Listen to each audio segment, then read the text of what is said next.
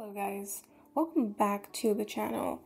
And today we're working with the bacteriophage T4 isometric capsid, a structure that's not just insanely complex, but also super cool to visualize. So in this tutorial, I'm going to be showing you how to use its beautiful design to reveal some of the most advanced features in molecular nodes. And if you've watched some of my videos, you know that I've worked with molecular nodes before. Um, so I'll have that linked up in the cards somewhere. And um, without further ado, let's dive right in. So I'm just going to start by deleting the default cube as per usual and coming down into our scenes tab and here you will find molecular nodes. If you haven't installed this already, I recommend you do. It's really, really easy. With Blender 4.2, you can actually update the add-ons in Blender. You don't have to uninstall and reinstall, so that's super easy now. But I'm just going to import our structure from the PDB database and that will be 5vf3 and we can just tick build assembly here and maybe center the structure as well. And after we have those checked we can click fetch. We have to wait for just a little bit. And here we have our structure. So here we have our bacteriophage structure so now what we're going to do is just move this up here and go to the geometry node editor where we find our node setup, our molecular node setup. So here we have the basics. Um, I just like to start by, because we're going to be using a surface, I like to replace the style surfaces uh, or the style spheres with uh, a surface instead. So I just click X on that, connect the set color to the assembly, and add a surface. Add that right there. This usually slows down the app just by a tad bit, but that's not, it's actually not too bad. We can work with this because we will have to see a lot of what we're doing. So we need to use style surface inst instead of the style spheres. Now, this structure is actually quite interesting because on its surface it has like a hexagonal lattice surrounding it. So what I want to do is try as much as possible to show that. So what I'm going to do is duplicate the set color, place it all the way over here. And it's going to be taking time because we're using surfaces and not um, spheres. So I'm going to connect this to a color ramp.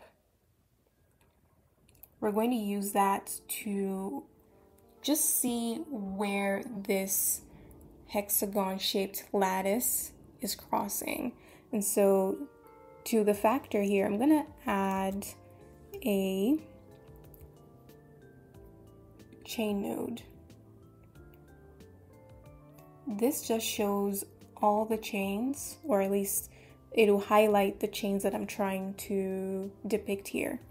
So from the selection, I'm going to connect that to the factor and we can actually go into the viewport shading. Awesome. So you can see the entire structure looks black because we haven't selected anything yet.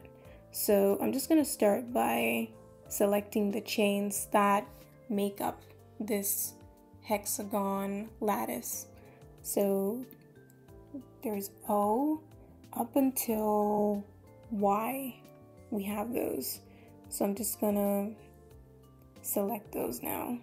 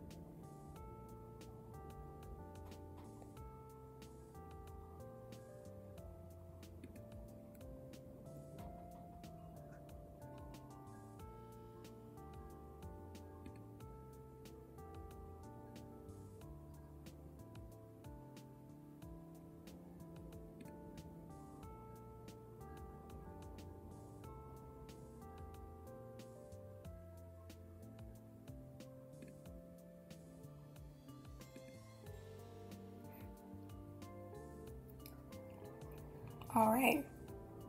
So there we have it. Oh, I'm supposed to click this. These are the cons of using molecular nodes. It tends to slow down Blender quite a bit, especially when you insert or replace certain um, nodes like the style surface. So there we have it, right? We have our hexagon lattice here around. So it's just highlighting what we, it'll help us, it'll use, we'll use this as a guide when we're trying to color our structure. Okay, so now that we've highlighted our chains or the chains that we would like to highlight on the structure, we can just come here into the color ramp and select the colors we would like to use for this project. I'm just gonna go with the light blue in place of the white. And for the black,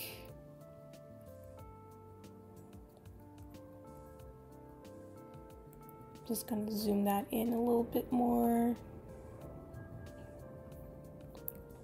I'm going to go for maybe a darker blue. I think that will look really good.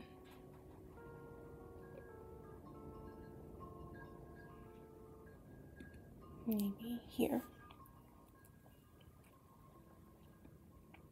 Alright, looks pretty good.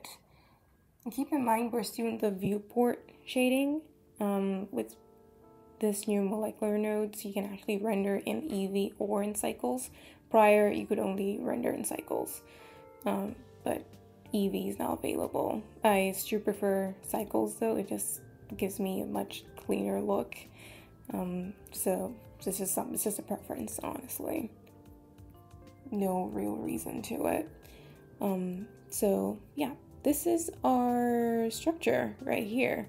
Very, very basic. Um, if you wanted to, you could highlight the middle section here, these um, other chains right in the middle here. We have one here, here, and here, but I think it looks good as is so far. So I'm just gonna leave it like that. So if you wanted to add anything else or just do a little extra to this, you can actually go into the shader editor and just click on or change the roughness, change the subsurface, of our structure. And I'm sorry, guys, it's taking so, so long to do this. Um, I would have loved to pre record and just maybe do a voiceover, but I don't know if people would actually like that. It's kind of better when you can just follow along. so, I don't know. If, if you like voiceovers, let me know in the comments. I don't know. This is just what I think people would prefer. Kind of like a follow along, but it's just unfortunately very slow. Um, so yeah, we can change how our structure looks from the outside. It's like the roughness and um, the subsurface scattering, all of that jazz. So I kind of like to crank the roughness up a little bit and the subsurface as well. Just crank that up. Usually to about so. It should be fine. At this point, it, it's dependent on what you like. No rhyme or reason to anything here. It's just the aesthetic that you're looking for. And we can up the scale as well.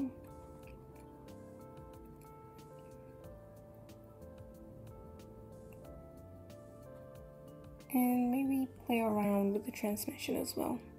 Just by a little bit, not too much.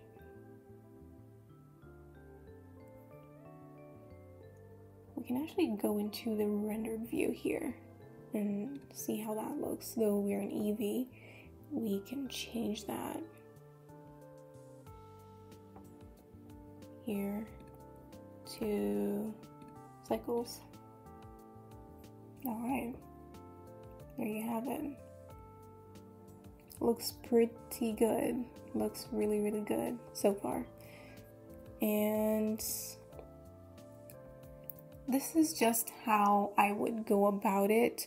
Of course, Molecular Nodes has an array of um, features that you could use, features that you could um, use to style molecular structures or visualize molecular structures in whatever way you would like. But this was just a quick video on how I would do it and just giving um, or using a different structure as an example. So, thank you guys so much for watching. If you liked the video, please subscribe, hit the like, let me know in the comments. Uh, I know people prefer when I show my face. Uh, I just can't for this video because I'm kind of in a hurry. So, uh, in the next video, I'll probably show my face. And also, I would like to go live um, one day. So perhaps if we get to maybe 50 subscribers, I'll go live. Who knows? I'll start going live maybe. And we can do some Q&As or just hang out or we could like model and be on live. Just let me know what you like, what you like to do. If you have any suggestions, mm, hit me up, let me know. and uh, can't wait to see you guys soon. See you guys in the next video. Goodbye.